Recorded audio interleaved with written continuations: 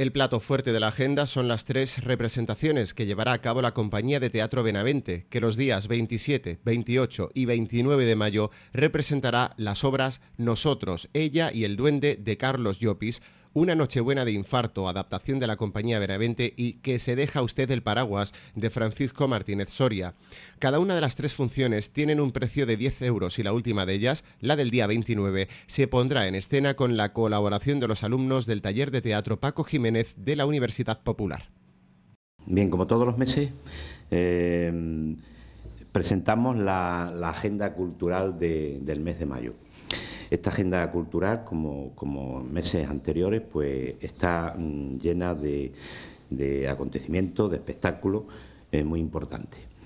Tenemos mm, dos, actos muy importantes, uno es la decimoprimera Feria del Arte, todos los años y en el colegio o edificio, eh, antiguo colegio Cura Romero, durante los días 23 al 27 de mayo se van a realizar eh, la representación o la muestra de todas las actividades y todos los trabajos que los alumnos de la Universidad Popular eh, del Ayuntamiento de San Roque han realizado durante este año.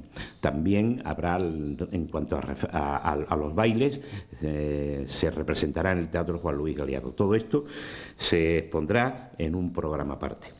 El día 27 y a las 12 de la mañana tenemos el Pleno Institucional Ciudad de San Roque como todos los años.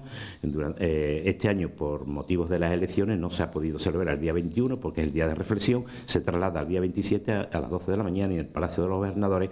Allí recibirán su honor y distinciones todas aquellas personas que han destacado por algo eh, en el municipio de San Roque. Yo creo que la agenda es amplia, es diversa, interesante y espero pues, que sea del agrado de todos los ciudadanos.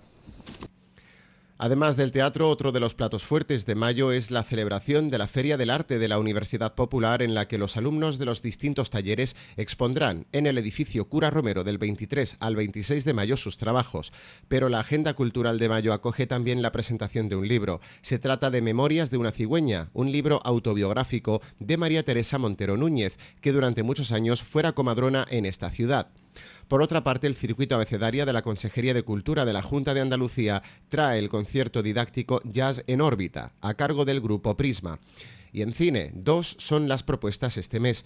La agenda cultural se completa con la celebración, el viernes 27 a las 12 del mediodía, del Pleno Institucional del Día de la Ciudad en el Salón de Actos del Palacio de los Gobernadores.